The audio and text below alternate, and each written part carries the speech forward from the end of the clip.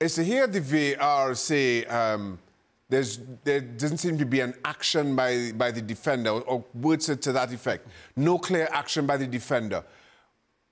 How do you look at that and say that there is no clear action by the defender? It's, it's absolutely beyond me. And, and listen, I, for, for all the praises and all the criticisms that, that VAR has gotten over the years, this just is, is it, it, it doesn't help um, those of us who feel VAR is, is a needed addition to the game.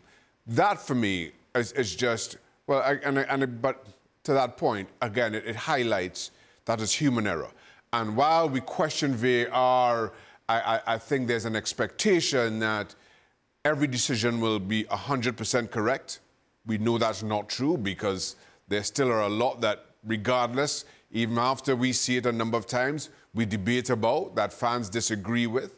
Um, but this is, is beyond the pale, in my opinion. I, am not sure how you look at that, and, and that is a discussion that brings the decision that, well, quite clearly was wrong. There's, there's no question some of the decisions from VAR are debatable. We don't always agree.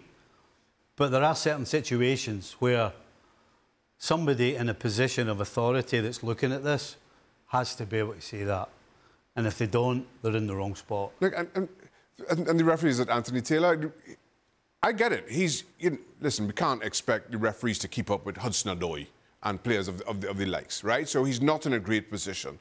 He thinks um, Ashley Young gets a touch of the ball. I'm totally fine with that. You, we can't expect referees to be, again, better athletes than the athletes. But that is why we have VAR. And I'm not sure how anybody who knows the game, who understands the game, watches that, and that is a conversation. If that's the conversation, I'm, I'm, I'm, I'm amazed that we aren't getting more wrong decisions.